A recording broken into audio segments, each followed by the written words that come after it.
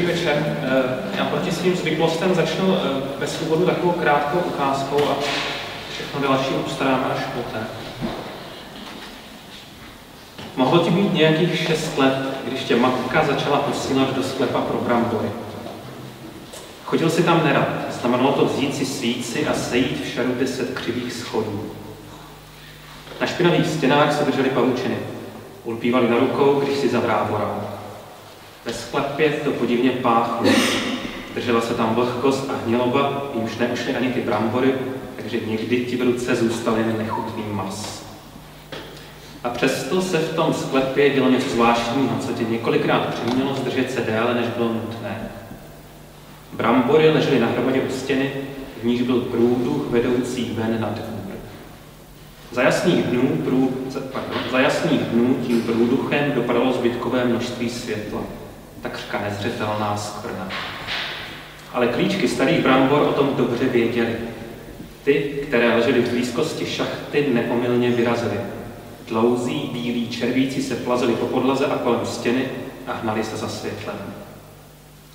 Některé klíčky pomřely v polovině cesty, když už je stará hlíza nedokázala vyživovat. Ale jiné se dostaly až dovnitř, do průduchu, který jimi časem zcela oprostl. Byl snad dva metry dlouhý, takže žádný červ svou cestu ke světlu nemohl dokončit, ale to tě netrápilo. Dřepěl si před hromadou brambor a nahlížel dovnitř do tunelu, kam se asi všechny ty klíčky ženou. Bylo v tom něco děsivého, v tom jejich slepém usilování za světlem, ale nemohl se od toho odtrhnout.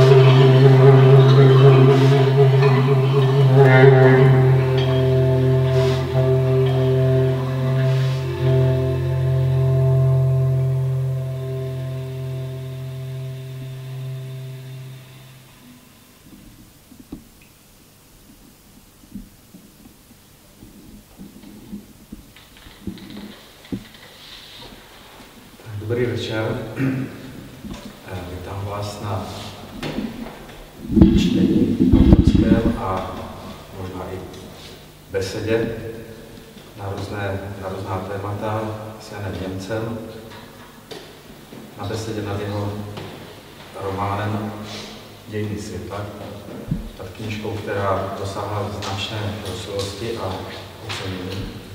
Přiznám se pro mě osobně, jako pro redaktora Českého rozhlasu a publicistu, je to z kulturních novin, je to premiéra, moderovat takovou zvláštní, takové zvláštní čtení a právě ještě na takovou knížku, která eh, tak zazářila svým způsobem.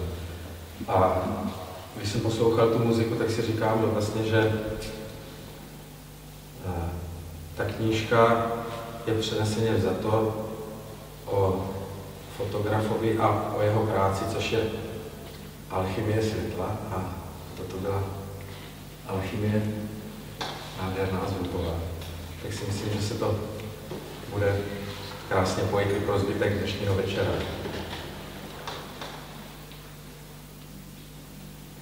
Ten román je velmi rozsáhlý a e, před začátkem jsme se tady s Janem Němcem bavili o tom, že vzhledem k jeho společenskému dopadu a e, prostě celé situaci, konec konců i jistému společenskému angažmá je na Němce, bylo řečeno už mnohé v rozhovorech, takže asi těžko narazíme na něco nového, ale já teda osobně bych od něj velmi rád slyšel jednu věc. Pro mě text, pro mě jako pro publicistu krátký formátu, je text takového rozsahu nepředstavitelný, nebo aspoň zatím doteď. A eh, já bych se rád zeptal, jak se takový text připravuje. Nemyslím jenom sběr dat, který jistě trvá dlouho a taky bych se i to bych rád věděl, ale jestli si člověk v hlavě tvoří nějakou kompozici nebo má jasno, co napíše rámcově, pak to jenom plní, anebo jestli se nechá vést. No já myslím, že to vlastně není zas tak jako jiný než u těch krátkých útvarů, protože každá velká věc se většinou skládá z nějakých menších a, a já jsem si to zkrátka tak jako rozdělil na nějaké kapitoly a, a podkapitoly, takže vy, kdybyste dal dohromady všechny ty články do kulturních novin, tak určitě by to taky vlastně Eh, dohromady dalo nějaký takový celek. Eh. No nejsem ale... si jist, že bych měl takovou vnitřní konzistenci, ale... Kdo ví, kdo ví, ono ten autor se do těch textů vždycky otiskuje, když to sám třeba se neuvědomuje. No ale jako vlastně v tomto případě, protože to je životopis eh, Františka Drtikola, tak ta práce s tou kompozicí byla dost usnadněná, protože já jsem vlastně tu osnovu měl nějakým způsobem danou tu kostru, kostru toho jsem měl nějakým způsobem danou. Takže jsem vlastně tady tu rovinu, eh, na které myslím se člověk může dost zadrhnout, když píše tak rozsáhlý román, že vlastně neví, jak to bude probíhat a kam která postava eh, dospěje a jestli umře na straně 300 nebo 400 nebo vůbec, nebo stane z mrtvých, tak to všechno je normálně otevřený, ale tady to bylo vlastně, vlastně už předepsaný svým způsobem, takže můj úkol byl spíš tak jako tu kostru nějak nějak jako rozhýbat nebo obalit vlastně nějakým masem situací a dialogů, jako obvykle říkám, aby, aby to bylo životní a aby to byl román. No. A jak dlouho teďka fyzicky od prvního slova do konce, jak dlouho jste to psal? Eh, no, no právě záleží, co všechno se do toho počítá. Eh, od prvního slova do konce toho samotného psaní, já myslím, že to mohl být tak rok a půl, ale předtím samozřejmě nějaký sběr materiálu a potom zase byla nějaká redakce, která tuším i to poslední slovo několikrát proměnila, takže vlastně to bylo třeba dvojnásobek než, než ten rok a půl, jak jsem teď říkal. No, ten, ten životní osud Františka Dertikola, eh, své rázného fotografa a konec konců i eh, svého druhu filozofa a duchovního mistra pro určitého pro lidí, obsahuje spoustu rovin. Já třeba vím, že vy jste výborný fotograf. A eh, do jaké míry se tam zobrazovala, zobrazovala vaše zkušenost fotograf, fotografa nebo toho, který se dívá a pracuje vlastně tím světlem, s tím, co eh, vlastně s tou cestou, co procházel Drtikov. Jestli třeba jste měl některé pasáže, které vám jako mluvili z duše. Nebo jste si řešili sám svoje věci. No, já musím říct, že jsem v té fotografii jako vlastně nikam nedošel proti Drtikolovi, takže jako svou vlastní zkušenost fotografa jsem jako příliš používat nemohl, protože ta zase tak velká není. Eh, ale je pravda, že jakoby nějakým způsobem do té fotografie vidím, takže jak by jsem rozuměl tomu, čím čím on procházel, aspoň jako teoreticky, bych jsem si to dokázal představit. Ale zase jako by vlastně jenom v omezené, eh, v omezené míře nebo v určité rovině, v té jako třeba nějaké obecné, eh, uměnovědné nebo filozofické, protože samozřejmě ta fotografie jako médium je dneska jako úplně jinde a má vlastně úplně jinou materiální podstatu, nebo přesně řečeno za kola ještě nějakou materiální podstatu měla dneska, dneska už příliš ne, maximálně na konci, pokud si ty fotky ještě někdo nechá, nechá vytisknout.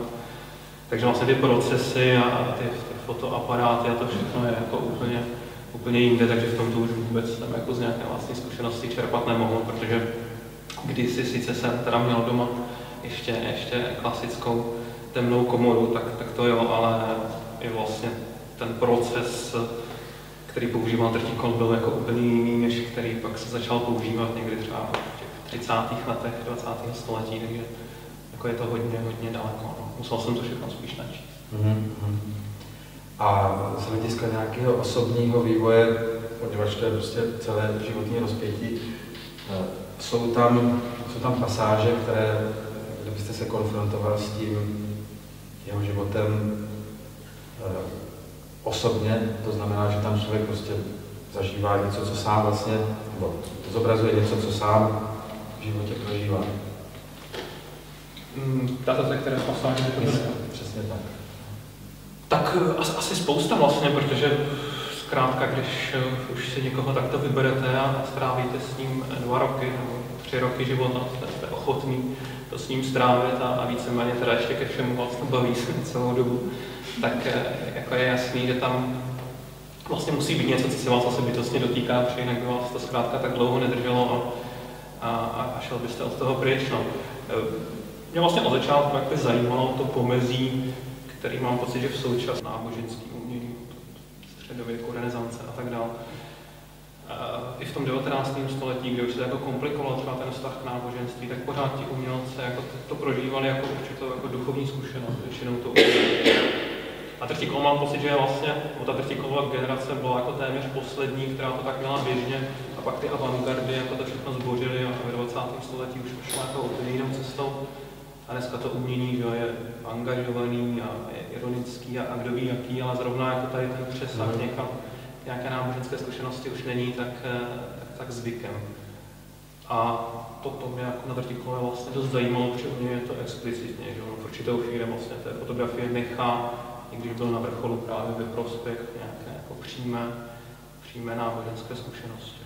Já osobně si myslím, že ta knížka eh, nebo ten příběh takové osobnosti, on má totiž co říct i dnes, právě proto, že to umění, to viditelné umění, když to řeknu takhle, se vlastně vzdalujete eh, tomu té komplexnosti životní zkušenosti a stává se tak fragmentárním, ale přitom eh, myslím si, že ta potřeba umění, které je nějak spojeno se životem, s postoji, s pohledy, eh, teď to nemyslím na angažmá politické, ale prostě s bytostným nějakým prožíváním, že existuje. Já teda osobně jsem se k Detíkovi dostal ne skrze to, že bych se zajímal o fotografie, ale skrze to, že jsem poznal jednu fotografku a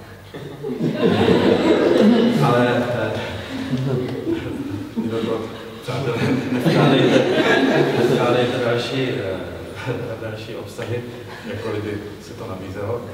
Ale eh, ona se mnou spolupracovala, když jsem měl vydavatelství, tak eh, dělala některé fotky. Pro ní to byla okrajová záležitost, ty fotky pro mě, protože ona se věnovala fotografii, eh, přestože relativně mladá, prostě mladší než já, celkem dost, tak ona lpěla na klasickém foťáku a na fotografiích na papíře a ona se doslova do písmene zamilovala do drtikola. A v podstatě ten drtikol pro ní znamenal i odklon od fotografické profese a prostě rozhodla se někam odejít. Sice fotografii dělá, ale že jiný život trošku, než žila předtím. A tak jsem tehdy, že ten drtikol připravil tím, že vlastně jako osoba může katalyzovat takový vlastně posun, že? Duchovní a, a osobní a tak to bych se chtěl zeptat vás, jestli jste měl třeba zážitek tohoto typu, že jste byl jiný po té knižce než před ní. Že jste si něco uvědomil nebo... No tak eh, určitě zajímavější odpověď by byla, že ano, ale vlastně myslím, že, že, že ne jako nějak zásadně, no, že eh, spíš to bylo tak, že jakoby to, co mě na tom Drtíkovi zajímalo, tak to eh, vlastně už jsem nějak zkoumal třetím a ten Drtíkov možná to nějak prohloubil, nebo uh, samozřejmě tím, že jsem jakoby, to studoval daleko podrobněji, tak uh, jako jako by to byla formulace toho, na co jste už předtím... No, v nějakých jako detailech, drobnostech určitě, jako to, to člověk rozvinul a třeba zpřesnil, ale jako nemůžu říct, že by mi ta knížka proměnila, no, to, to ne, to ne. To spíš jakoby ten můj zážitek s tou knížkou je ten, že jsem na to štěstí, že jsem ji mohl vlastně rok intenzivně psát a vlastně to bylo jako poprvé v životě, kdy mám pocit, že jsem jakoby dělal to, co opravdu jsem chtěl a dělal jsem to většinou jako času. A, a je to jako skvělý zážitek, že ty ostatní věci v tom životě se tak jako urovnají kolem toho, když, když to má nějaký jako střed. A tak jako by v tomto to pro mě vlastně bylo jako nejzajímavější zkušenost, že eh, to jako za to stojí prostě jít za tím, co člověk chce dělat a a i když je to třeba nějaký riziko, jako v tu dobu, kdy s tím začínáte, že jako, ztratíte nějaké jistoty, třeba eh, co se týče jako zaměstnání, a tak vlastně jako v tomto to bylo nejlepší zkušenost. Já bych teda v tuto chvíli poprosil, přerušíme naše vyprávění a poprosím o další ukázku a pak muzikanti. Já jenom eh, ještě krátce řeknu, jsem překvapivě měl chvilku času teď eh, před tím čtením a listoval jsem vlastně po dlouhé době tou knížkou, protože většinou je to tak, že čtu nějaký eh, pasáže, tak jako, který už mám dost čtený. A jak jsem tím listoval, tak jsem si uvědomil vlastně poprvé takhle jako uh, úplně explicitně, že tam je spousta takových jako kapitol, které jsou nějakým způsobem iniciační, což to asi není překvapení vzhledem k tomu, co už tady i zaznělo. Ale někdy vlastně jsem si neuvědomil, že spousta těch kapitol má takovou něčem podobnou strukturu, tak jsem si říkal, že dneska zkusím číst eh, trochu jiné věci, než obvykle čítávám a vybral jsem právě takový tři nebo čtyři eh, kapitoly, v kterých teda Trtikol jako co si objevuje a je to nějaký jako přinejmenším symbolický zlom v jeho životě. Ta první byla ten sklep plný brambor, kdy Trtikol je 6 let a poprvé vlastně si uvědomí, jak eh, ty v podstatě mrtvé hrdízy jako se vydávají za tím světlem a samozřejmě je to nějaká metafora toho, o čem, o čem je celá ta knížka. Eh, ta kapitola, kterou budu číst teď, tak tady Dertikol už je trošku starší, ale zase ne o moc, může mu být tak, eh, řekl bych, 12-13 let. A ta iniciační eh, z toho důvodu a v tom smyslu, že tady jako poprvé nějak se setkává vlastně se sexualitou a s nahým tělem ženským, což, jak víte, vlastně potom bylo hlavní téma jeho fotografické volné tvorby. Tím se proslavil.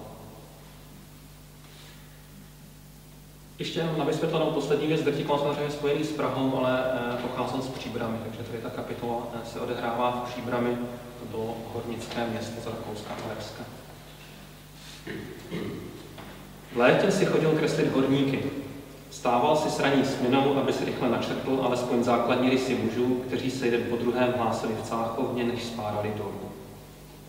Byl na ně hrůzný pohled záplatované obličeje, poskládané z bílých, hnědých a červených kusů kůže, vyžíhané lepky, tváře bez obočí.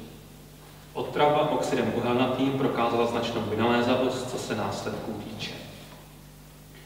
Zpočátku si pracoval víc gumou než špičkou, ale postupně se tuška ve tvých prstech stala obratnější a hrot citlivější, jako by v něm ústila nějaká nervová zakončení.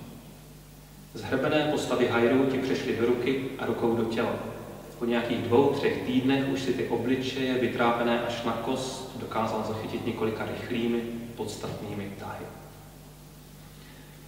Ale teď míříš do lesa. Otec ti pořídil skládací malířský stojan a nebou se do akvarelu. Co přišel podzim, snažíš se malovat v plenéru co nejvíc. Rozložíš stojan a výkres na něj upneš svorkami. Rozděláš barvy a do kelímku napustíš vodu ze studánky, kterou si sem přišel malovat. Několik kamenů obrostlých šťavnatě zeleným mechem, na hladině malé nádržky, lodičky z listí. Není to nic zvláštního, lesní zákoutí, ale jako cvičení to musí stačit. V rychlosti si to rozvrhneš tuškou, do setmění není tolik času a pak už sáhneš po, po štětci a po barvách. Sám víš nejlíp, že tady se ještě máš hodně co učit. Nedaří se ti proniknout do tajných zákonů barev, i když jsi o nich už leco přečetl. Nějakou dobu maluješ, když v tom tě vyruší hlasy. Přidušené pištění a smích. Spozorníš, dá se rozlišit několik chlapeckých a jeden dívčí hlas, asi vyrazen na dřevo nebo na šíšky. Znovu si namočíš štětec, ale tu si vzpomeneš, co si jednou dva sextáni šuškali pod otevřeným oknem. Že se to prý dělá v lese a že je to nějaká soutěž. Hlasy se přibližují a tebe se zmocní zvědavost. Složíš stojan, ukryješ ho do listí několik metrů za studánkou a sám si přidřepneš za širší kven stromu. Po chvíli skutečně v dálce spatříš čtyři postavy. Drží se trochu nepohodlně mimo cestu a míří srázem z hůru. Je mezi nimi dívka, kterou si snad slyšel věkno, ale teď už jsou všichni potichu. Stoupáš od stromu ke stromu. Stopuješ je podle brázdy v listí a skrýváš se za kmeny, takže se všechno stává dobrodružnější. Když se blížíš ke zlomu kopce, buší ti srdce. Přikrčíš se k zemi a pak se dokonce blížíš, protože očekáváš, že spatříš něco strašného. Ale za pohybem pouze pokračuje les další vlnou. Dá se poznat, kudy šli. Vypadá to, jako by jeden z nich příliš nezvedal nohy, protože listí je místy rozryté jako divočáka. Rozhoduješ se, co dál. Neměl bys v lese zatvít, ale jen tak se teď vrátit, to se ti také nechce. Obezřetně pokračuješ, ptáci už utichají, od země se zvedá chlap. Pokračuješ několik set metrů, než je znovu zaslechneš, museli se zastavit, zdá se, že tam v lese je nějaká velká jáma, snad starý povrchový důl. Opět se přikrčíš, suneš se po kolenou a blížíš se až na samý okraj strže. Dole stojí tři chlapci a jedna dívka. Něco si mezi sebou špitají, slovům nerozumíš, ale celá ta věc je divná. Dívka se dvěma copy je opřená o kmen stromu a pokud si schopen rozeznat, trochu se usmívá. Kluci jsou jen o něco starší než ty. Možná je mezi nimi nějaký septimán nebo oktaván od vás z gymnázia, přes štítky čepic jim nevidíš do tváří. O čem se se dohadují? A občas se některý z nich pátravě rozhlédne po okruží strže, jako by tušil, že nejsou sami. Zasuneš se o kousek zpátky, aby se sám ještě viděl přes trávu, ale oni tě spatřit nemohli. Země studí, listí začíná tlít, ta těžká vůně je ti trochu nepříjemná, pod nosem ti předsopitá lesklý brouk, ale od toho výjevu pod sebou se nedokážeš odtrhnout. Soutěž. Jeden z chlapců k dívce přistoupí a něco jí pošeptá. Zdálí se a tak toto po něm udělají i další dva. Pak si dívka bez slova rozepne blůzu a sleče košilku a tou lesní tmání zasvítíš vybílá ňadra. Zvedneš se na lokty, nad tebou se ozve barvný křik straky, znovu zalehneš a hledíš na tu obnaženou dívku mezi stébly trávy. Cítíš, jak se tvoje vlastní tělo chce dostat do vlhké země pod tebou, zapíchnout se do tlejícího listí a do hlíny, jako když se přes palubu hází kotva, aby se zarazila do dna. Chlapci stojí proti dívce a dívají se na ní. Na okamžik to působí jako živý obraz. Strž času, v níž se už nikdy nic nepohne, ale pak dívka tiše tleskne, není to ani slyšet, vlastně pouze přiloží ruce k sobě.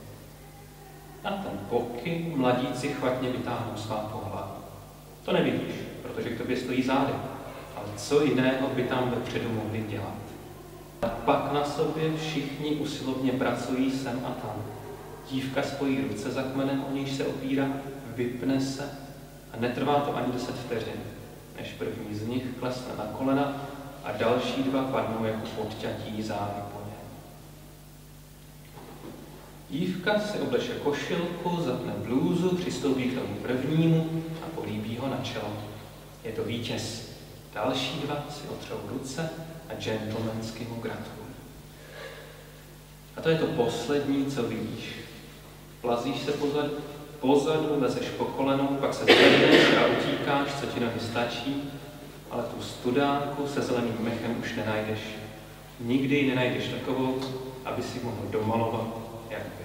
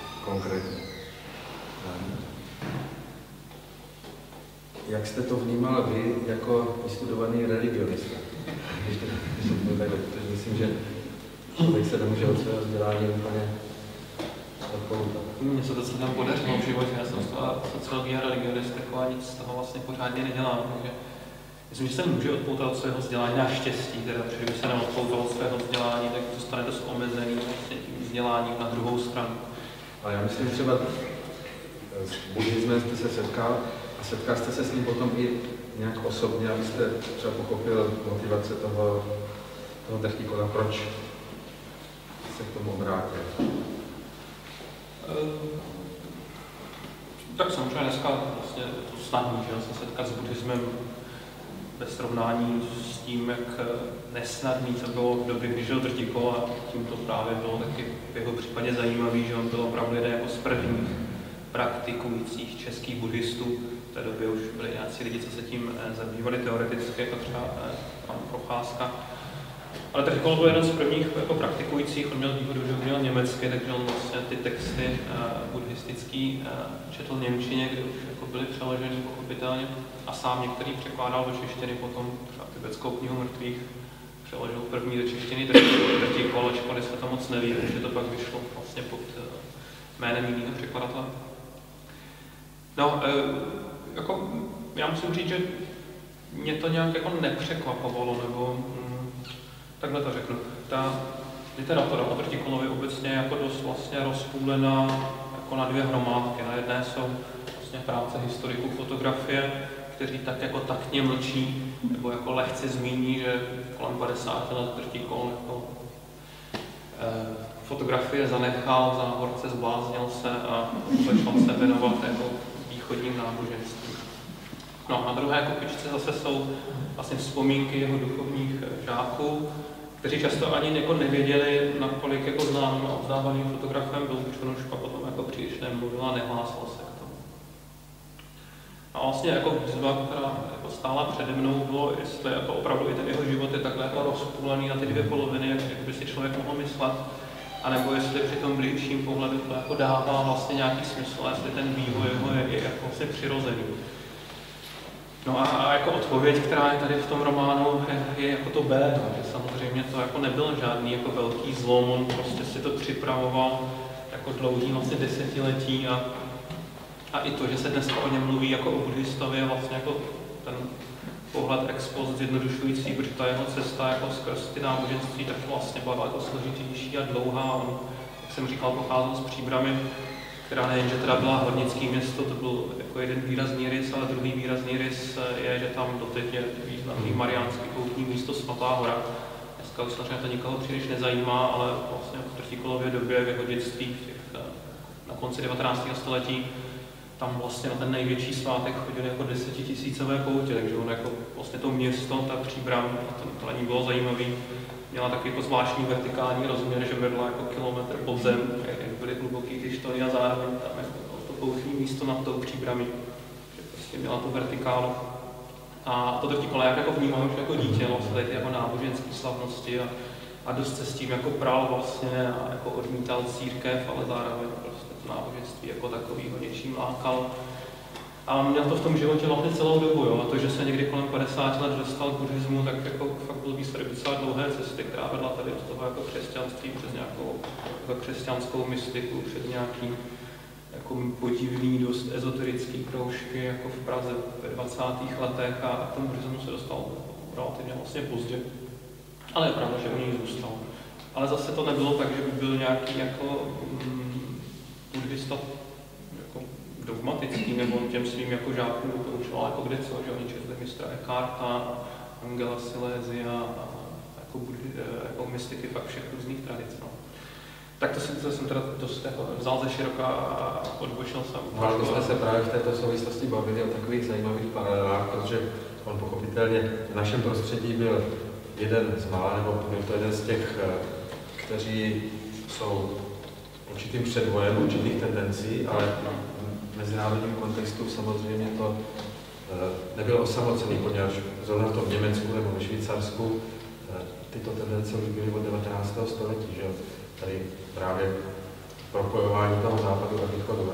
A vím, že jste mě tehdy, eh, jak jsme se bavili, říkal, že v té době jste se vlastně zabýval trošku i čtením švýcarského psychologa Junga, kde no. lze podobné jaksi eh, indicie nalézt, tak je to podobného vývoje vlastně, že No tak toho Junga vlastně to ještě daleko, podle mě jako explicitně, ten si vlastně udělal téma, že ten o tom jako píše úplně bez, bez nějakých jako symbolů, eh, nebo, nebo vlastně nešel tou cestou umění jako drtíklo většinu života, ale jako spíš tou cestou teda eh, vědy, řekněme, když by jiní psychologové nesouhlasili.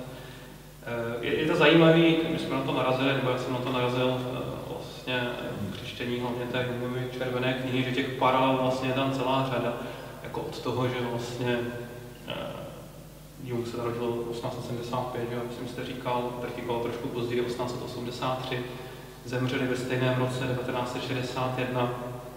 Oba vlastně během první světové války zažili jako významnou spirituální krizi, kterou u Junga právě jako najdeme v té, té červené knize.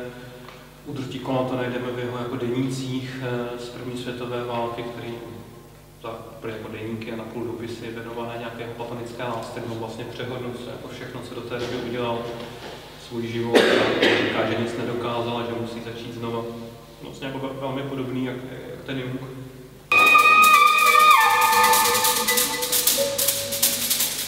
závěr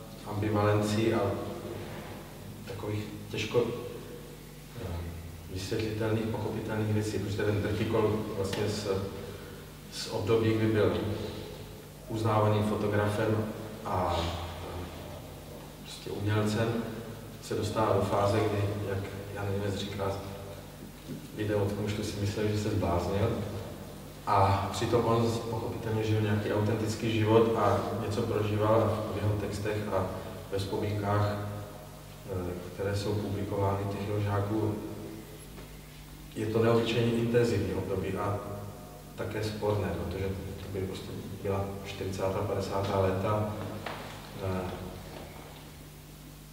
I konfrontace s tou ideologií sám byl jí taky nějakým způsobem stržen. A tady v tomto punktu, abych tak řekl, se mě i mému kolegu, kolegovi z kulturní novin, který psal té knižce, zdálo, že vlastně je tomu věnováno v podstatě nejméně prostoru, tomu, co je vlastně nejdrsnější, nej, nejsložitější a tak jsme si říkali, jestli to není náhodou, protože jste si něco schoval, že ten svět, to je, to je na příště. Na příště. Protože to je po té druhé světové válce až prostě do konce života, to je jako kdyby jiná planeta, jiný, jiný svět. Mně to tak připadlo, když jsem četl Tertikolův životopis a tak se ptám, ne. tak to tak bylo záměrně, prostě kvantifikováno, nebo jestli prostě máte ještě doma ve sklepě balíky materiálu pro, další? Ne, bylo to tak, jenom aby, aby všichni věděli, on Trtichol vlastně v roce 45 i hned v květnu vstoupil do komunistické strany a, a zůstal tam formálně teda až do své smrti v roce 61, znamená celá ta 50. léta s politickými procesy a tak dále. A zároveň teda vystupoval jako buddhista a duchovní učitel, takže co si s tím počít, že jako dohromady. Zvlášť v té době to muselo být neobyčejně bizarní, jo?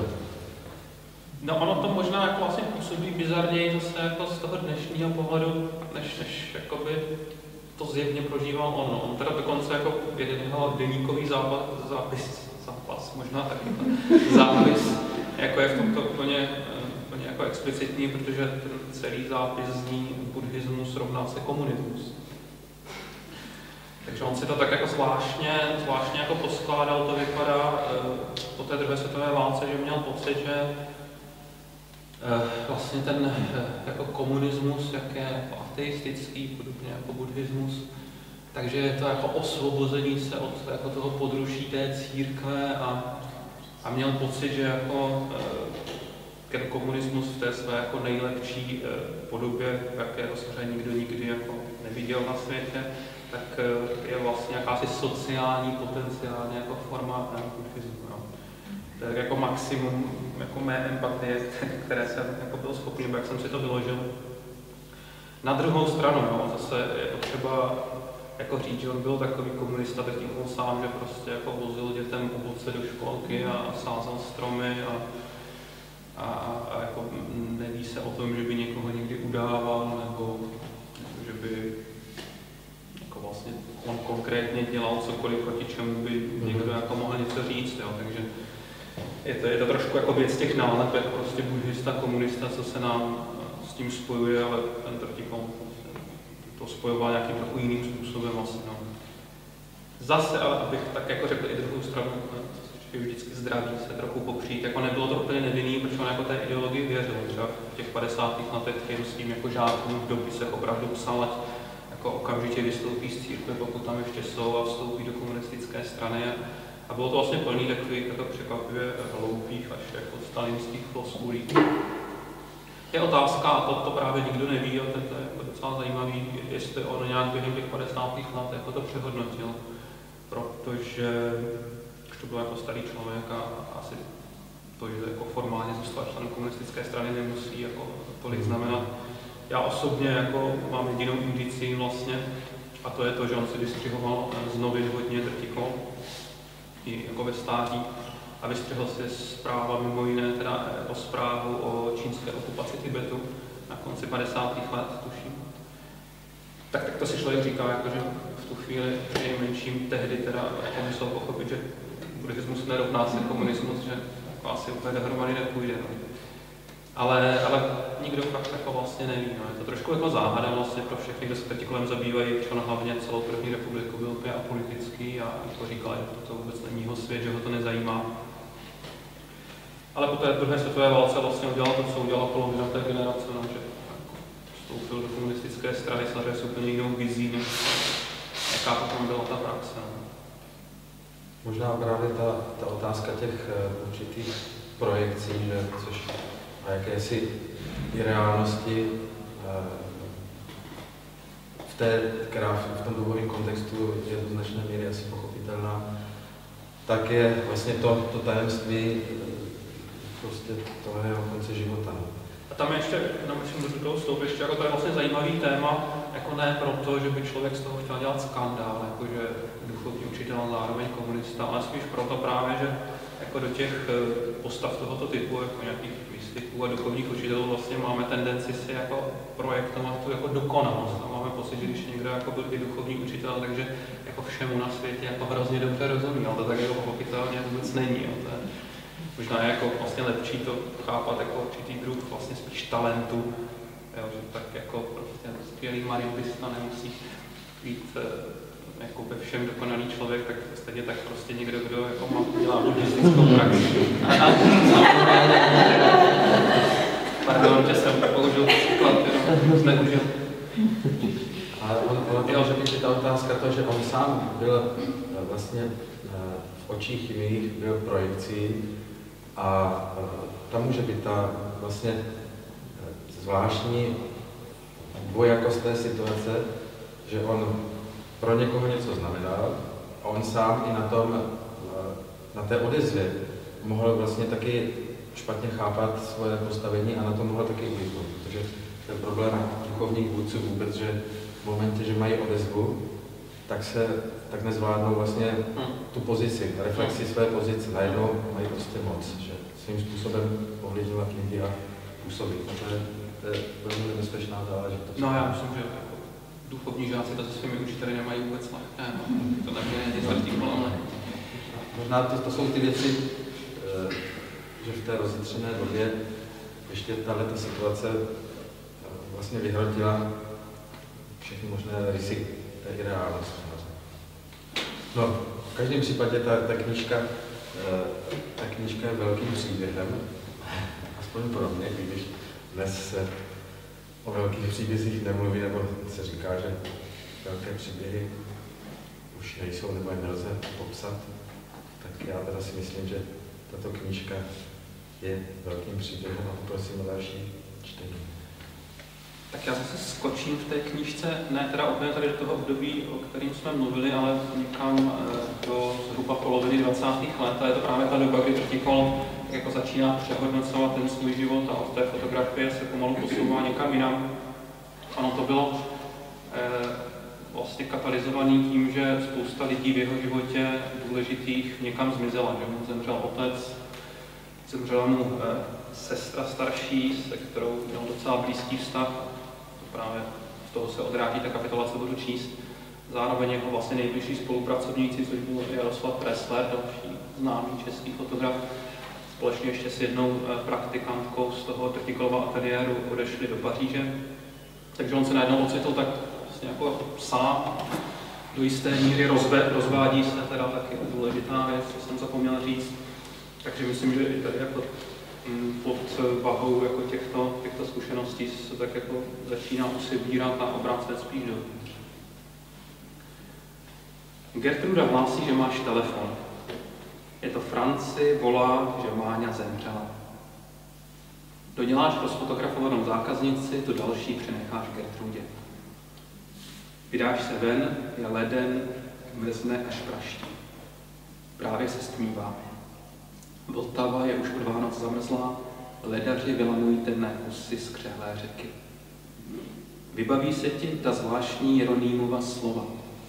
Co zbývá člověku jiného, než projít jedoucím vlakem proti směru jízdy. Většina lidí do vlaku nastoupí. Najde si volné sedadlo a to neopustí, dokud vlak nezastaví v jejich stanici. Zemřou tak, jak se narodili, pěkně na svém místě. Také Máňa zemřela na svém místě, i když se přestěhovala s příbrami až do Mravské ostravy. Ale občas, občas se někdo ze svého místa zvedne. Kráčíš kolem ledové krusty, z níž se zvedá chlad a rozvíjíš tu představu. Vlak se skládá z devíti vagónů a v každém z nich je přesně devět kupé. První vagón, ten hned za lokomotivou, ten patří politikům. V druhém jedou obchodníci, ve třetím učenci. Když k ním člověk nahlédne do kupé, všichni učenci klimbají, ukolébání pohupováním soupravy, ale tu a tam se některý neokamžik probudí a zakřičí heuréka. Přijde průvočí a štípne dotyčného učence kleštičkami do ušního ladůčku, aby bylo jisté, že se mu to opět jen nezdá a opravdu většinou se ukáže, že učenec vykřikl heuréka ze snu a když se teď bolestí skutečně probudí, je celý zmatený, kde se to vlastně ocitlo. Začne pečlivě zkoumat vzor na tapetě kupé a do pěti minut opět spokojně usne. Ve čtvrtém vagónu se přepravují umělci, v pátém děvky. Děvky se vykládějí z otevřených oken, jak je pánové ze zadu obdělávají, prsa jim bleskají o sklo a mezi fingovanými orgazmy si vyprávějí o svých dětských láskách. Šestý vagón obývají vojáci, sedmé jedou zástupci různých náboženství. Papež ze svého okna proslovuje poselství Urbí et Orbí, Pasoucí se kravky jeho slova zamyšleně přežvikují a občas spokojeně zabučí. Ve vedlejším kupé se nahý, vyhublý jogín postavil na hlavu, zasypoval si končetiny jako mrtvý pavouk. Pouze volný pohlavní úd ho malinko šimrá na břiše a ruší v koncentraci. Vedle muslimové padají na kolena směrem, směrem k Mece. Těžká věc to určit, protože vlak stále neznatelně zatáčí a k největším tajemstvím strojvůdce patří, že trasa vede dokola. Výchozí a cílová stanice leží v témže městečku, nazývá se však různě podle toho, z jaké strany vlak přijíždí. V osmém vagónu žijí prostí řemeslníci a v devátém kriminálníci a svědci, lidé po právu vyloučení ze všech vagónů předchozích, poněvadž se odmítli podílet na prostřednosti světa. Když však člověk dorazí až na úplný konec té ďábelské soupravy, ze zadní plošiny posledního vagónu se mu otevře překrásný výhled. Je odměněn za to, že nezůstal sedět na zadku a neuzavřel se ve vypoustrovaném kupé jedné profese a jednoho názoru. Před sebou má vzdalující se kraj. Vidí ubíhající koleje a dá si dohromady celý ten celku prostý, ale neúprosný mechanismus. Co teď, poutníku? Můžeš si jen tak sednout, zapálit si vyřžínko nebo prostě hledět na svět. Konec konců není snad pěkný? Těch možností pokouší Mephisto. Jenže i poslední vagon dorazí do téže cílové stanice a to zhruba o deset vteřin později než čadící lokomotiva. A těch deset vteřin, jež člověk celou tou Odiseou proti směru jízdy získá, je to dost času na spásu? Zachumláš se tou do kabátu, zima zalézá za nechty. Kráčíš stejnou cestou střed a si s tou nelibostí si přiznáváš, že v určitou chvíli život trochu omezí. Tužby se vypotřebují, pérko se vytáhá. Některá přání dojdou naplnění, ale to znamená daleko méně, než by si smyslel. Neúspěšný člověk má svou nelibost čemu přičítat, ale to je příliš snadná iluze, potrava pro chudáky. Skutečný důvod nespokojenosti leží hloub. V určitou chvíli člověk zvolní, až se nakonec zastaví, protože svět kolem něj je dávno známé místo. Neví, kam jít dál, i když je úspěšný, a přešlapuje na místě v čím dál dražších botách, nebo začne druhé jen tak z dlouhé chvíle kopat do zadku. I tobě se daří. A tak víš, že v případě většiny lidí není úspěch žádná odpověď, spíš takové to nervózní odseknutí. Tak co? Teprve, když muž dosáhne toho, co chtěl, a není úplně zmrtvělý cenou, kterou za to zaplatil, může se obrátit k podstatnějším věcem. V Indii hospodáři odcházejí do ústraní, oprostí se od svého živobytí alespoň jako starci se obrátí k životu. Musel by si zalít uši voskem, abys to volání neslyšel. Přece nechceš prosedět celou cestu v jednom kupé, ve vagonu s ostatními umělci. Viděl si je a jen málo kdy to byl pěkný pohled. Víš, jaký jsou? Víš, jaké to je? Dokonce i géniové jsou mrzáci. Přece se nenecháš pohltit rubovou stranou světa, přece nezemřeš v kulisách, přece nezůstaneš u symbolu. Projdi jedoucím vlakem proti směru jízdy. Běž, běž. Ze zadní plošiny je překrásný výhled na vzdalující se kraj. A kdo ví, možná je těch deset vteřin úplně posledních a po nich už nepřijde vůbec nic.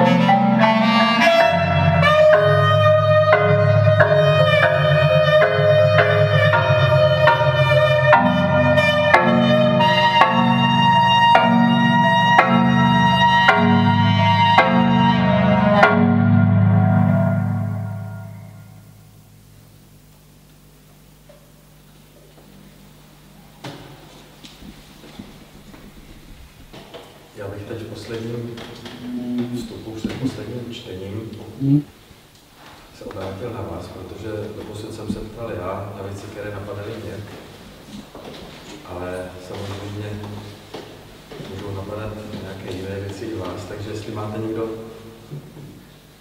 na pana autora otázku, tak prosím, dejte se. Mám trošku osobní můžu. Ano. Jestli si povídáte, jen si s tím eh, otcem Ludvíkem o tom, co píše on a co píše, co píše to vy, protože on teď zase něco vydal. Vidíme, že vydává ne svým vlastním. No, povídáme si o tom, ale spíš jako až ve chvíli, kdy ty knížky jsou na světě. Není to tak, že bychom si vzájemně dávali číst rukopisy na to, že si je poznámkovali a já bych říkal tam. No. Ale tak to, to jako takhle nefunguje. No. Eh, spíš je to tak jako ostýchaný vlastně a, a tak jako myslím, že oba to samozřejmě si rádi a zvědavě přečteme po té, co, co je to už v knihkupectvích. Já teď právě tu novou tátovou knížku tady vlastně mám s sebou, mám ji rozečtenou. Ale není to úplně snadný, no. Vlastně tak jak ty vztahy jako mezi otcem a synem nejsou vždycky úplně snadný. Tím někteří jako měli nějaký špatný vztah, ale prostě musíme se to učit, no. No, ale tak je trošku zvláštní, takže předpokládám, že občas to může být trošku, nejsem harašit, ale jiskřit. No, tak spíš, ono to nejiskří, spíš tak jako opatrně našla. Dobrý přístup, díky.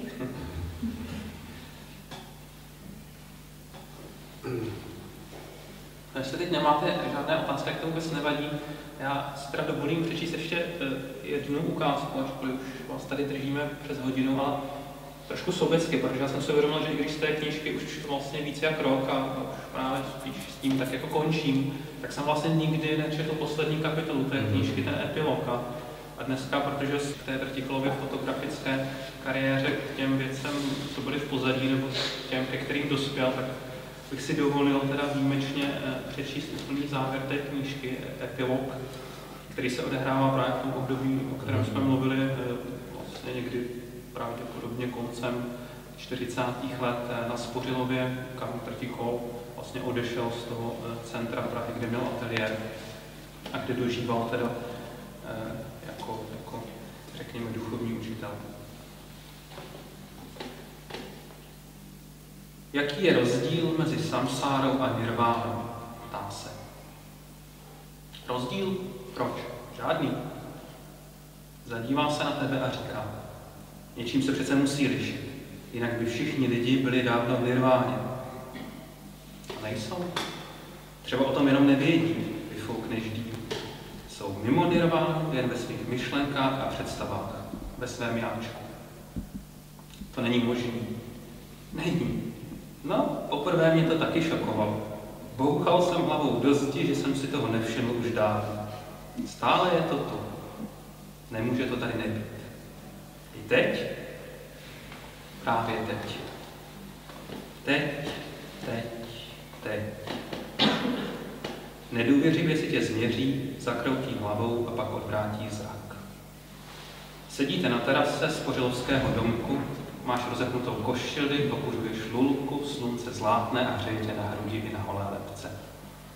Z korun zahradního města se zvedají trilky ptáků, pod ovocnými stromy nosí lidé v plavkách těžké konve s vodou a zalévají záhony. Sousedovi děti stříkají hadící vysoko do vzduchu, přes spršku setne drobná duha.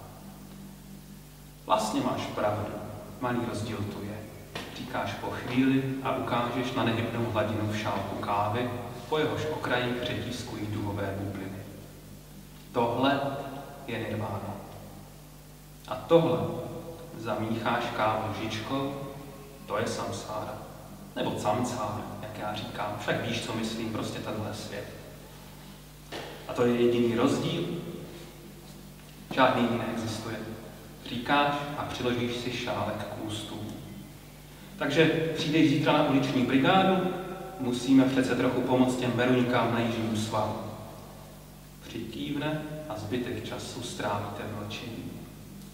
Vyfukuješ kouř a chutnáš nesmírnost večera, ukládajícího se pozvolna do zahrad. Každý den někdo přijde, jako bys měl na domě ceduly. Jedni posílají druhé, někteří se ukáží pouze jednou, jiní se pravidelně vracejí. Chodí k tobě takový, kteří než dojdou na zastávku, zapomenou všechno, co jsi mu říkal a chlubí se tím, co si neřekl. Ale mnoho z nich má upřímný zájem. Přinášejí své sny a zážitky, pokoušejí se meditovat, neboť mají tušení, že pravda je tam uvnitř a vnější svět je už nedokáže naplnit. Přijímáš všechny, ale víš, že cíle dosud nedosáhl ani jeden.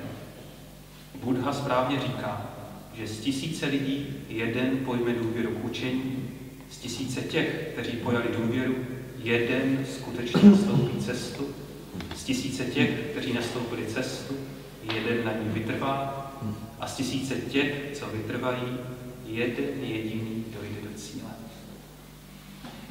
Jarka pročesává jahody, některé jsou velké jako dětská pěst.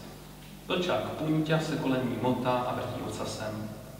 Dřepneš si k něm a vezmeš mučení do dlaní. Půjdeme ještě ven? Jarka se zvedne od řádku a s rukama zapřenýma o bedra si protahuje záda. Slyšela jsem, že v knihovně na Národním výboru už nechtějí slovo Budhovo, říká. Prý si tam proto máme zajít. Kdo ti to říkal? Tajemník to říká. Nedávno tím prý listoval a neslučuje se to. Ale slučuje. Jen se nerozumí té dialektice, říkáš. A nerozumí se ani tomu, že Buddha byl první materialistický filozof, dlouho před Marxem a před Leninem. Zítra na brigádě to s tajemníkem proberu. Pu, pardon, punťa už čenichem šťouchá do bránky, strčíš si vodítko do kapsy a dáš mu vol. Pobíhá mezi dosud mladými lipami, vysázenými na travnatém ostrovu uprostřed jeho západní pět. Před nějakými 25 lety byl celý Spořilov postaven rychlostí jednoho domku za tři čtvrtě dne, ale stromy nestačily vzrůst ani po čtvrt století. Na konci ulice se dáte dolů směrem ke krčskému lesu, po levé straně roste stará hrušeň a pod ní vybírá pramen, který se punťa po každé snaží vychlemtat. V zimě se tu sáňkuje a ryžuje, a kus dál malý rybník zrcadlí nebe, jako synkopy, od, jako synkopy se odtamtud ozývá koňkání žáb. Na travnatém břehu sedí mladý pár. Toho chlapce s vlasy vyčesanými do vlny od vidění znáš. Je to známá spořilovská firma Libor Fára. Má teď úspěchy v Sokolovně, hraje, maluje a bubnuje, takový nemají o dívčí doprovodní kdy. Dívka drbe punťu za ušima, ten jí ochotně strká čumák do náruče a tobě vrtá hlavou, odkud je ti ta dívka povědomá. Asi se podobá nějaké modelce, všechny už si nevybavíš. Co jsi za války věnoval svou fotografickou pozůstalost umělecko-průmyslovému muzeu, nemáš si ani jak připomenout. Zbylo jen pár snímků, několik jich zdobí schodiště do patra. Zde na Spořilově téměř nikdo neví, že jsi byl fotografem. Od začátku tě mají zablázna, co stává na střeše domu s rozpaženýma rukama tak dlouho, dokud si mu na prsty nesednou síkoly. Tak jdeme, zavoláš na punťu. Nevíte náhodou, kolik je hodin? Ptá se dívka. Bude tři čtvrtě na věčnost, říkáš podměšile. Jste snad taky surrealista? Vyplivne frajer z té blotrávy. Spíš nadrealista. Nadrealista? Znamená to něco jiného než idealista? Zadívá se na tebe dívka. Opravdu nevím, kolik je hodin, usměješ se. Ale je krásný večer a vy máte určitě víc času než já. To byste se divil. Musím se ještě učit na zkoušku, říká dívka. Co studujete? Dějiny umění. Pronikneš ji očima, koho ti jen připomíná. V tom případě nezapomeňte, poučuješ, že umění má smysl jen tehdy, když symbolizuje pravdu. A nejvyšším symbolem pravdy je krása. Jen symbolem. To jsou trochu včerejší řeči, namítá Fára. Když odcházíš, ještě slyšíš, jak ji přemlouvá, ať zůstane o chvíli déle a kuňkání žab tě vyprovází až zpátky mezi byly. Vlčáka necháš na zahradě, Jarka si společně s rozhlasem zpívá v kuchyni, její zástěra se myhne v pootevřených dveřích.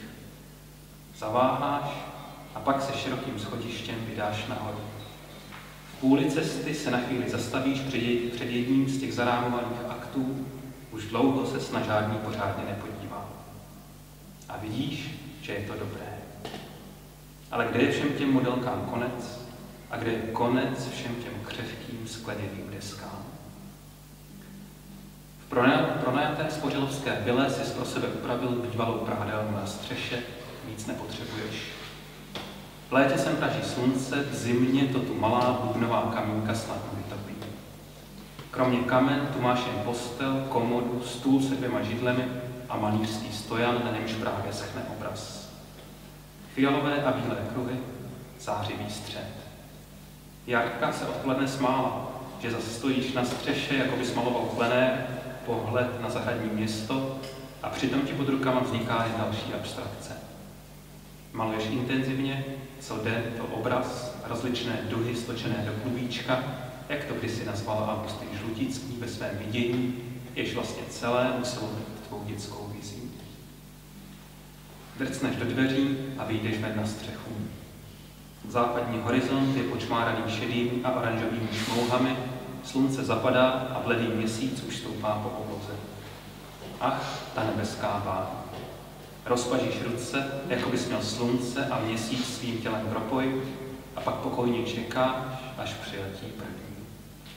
Mluvit, psta, mluvit s ptáky je to nejmenší.